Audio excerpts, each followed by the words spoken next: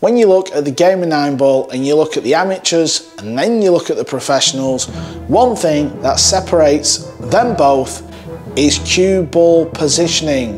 What is that? It's as simple as potting your ball and getting onto your next ball. The top professionals in the world are very good at that. The amateurs, not so good. But it doesn't matter how good you are.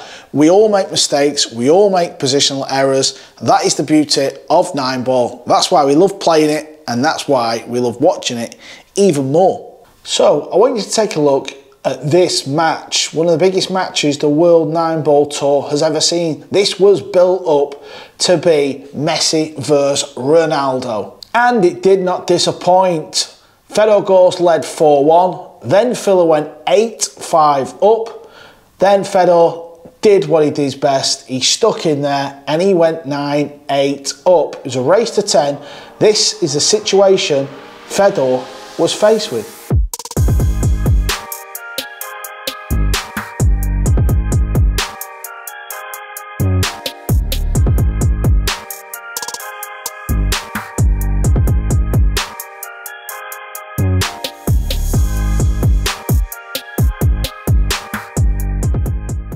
In practice, no professional alive would not clear the table. It's as simple as that. This is just a routine clearance. You're on the six ball, the seven's up top of the table, and here is the nine. So, what went wrong? Well, the fact that it was a major tournament, obviously Fedor is desperate to beat Filler as well in that arena. He wants to win his first singles event in a Matchroom arena. Now, for the pool fans watching around the world, until you've done that, it's not easy. It's a different vibe. We have adverts after every three racks. The TV cameras are mooching around in the corners. You do a walk on, the crowd are there. So it is a little bit different. But listen, Fedor Gorst will win tournaments in that arena. He is far too good not to. But what have we seen here? So a couple of ways. First way, Fedor decided to pot it and come up here for the seven. Now, slight issue with that is after potting the six ball, so let me just show you, you could pot the six, cue ball comes a little shy of pace and it lands there. You're leaving a little funny angle there because having potting the seven, cue ball's coming off here down towards the nine. So, when we look back at the shot, just put it roughly there, the seven ball is on the left side of this centre line. So Fedor decides to come across the line. Now, this can only go wrong if you under it, it, over it, it, or at times land a little bit funny. So if the cue ball was to land here, like so, he's got to top it forward off this weird little angle because drawing back you might scratch in the middle. Now, me, like probably everyone else watching, thought this match was over. But how about this for a shot? Was there a case for flicking up that side of the table? Why, you ask? Well, because even though you're leaving a more difficult pot, the beauty of playing it this way is you're only potting the ball. And watch this, once I've potted the ball, look at the cue ball, comes down towards the nine. Anywhere there, even here, you've got a shot at the nine.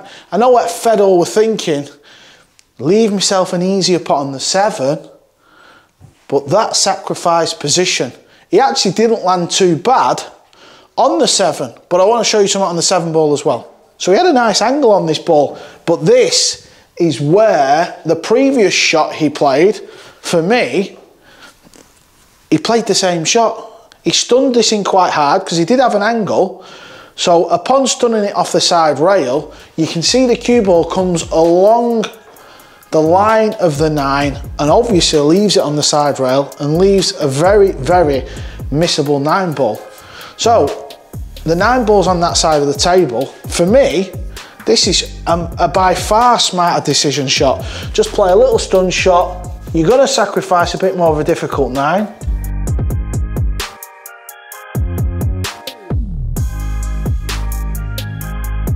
Fedor Gorst has got this nine ball. This is a nine ball where, yeah, you're not straight, but this is a nine ball we play nearly every every single day in the game of pool. So you can have a swing nine, go two, three rails, or you can play a high ball and just go two rails, maybe a third rail. I think the shot on the sixth ball, he missed the trick because he come across the face of it, but then he did the same thing on the seven. He come across the face. Just like what was saying on the sixth ball, you can go too far. He did exactly that on the seven ball. Two shots, I think, where he missed the trick. Little fine margins like that amateurs watching this video might think, hmm, I'm talking nonsense. But it proves it. When you start coming across the line on a TV table that's super quick, under intense pressure, this is not practice or playing your buddy down the local. This is high pressure. So it's very easy to lose your cue ball. I just think, come down here and just swing it. Just like so. There are a couple of perfect examples when you're playing position on your next ball and you come across the line of the potting angle, it's very easy to underhit the ball or overhit the ball, leave yourself a tough shot and you end up missing.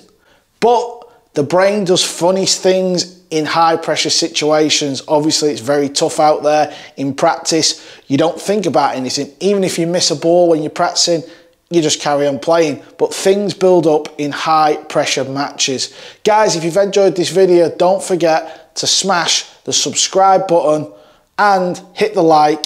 I'll see you in the next one. P.S. I love you, Fedo.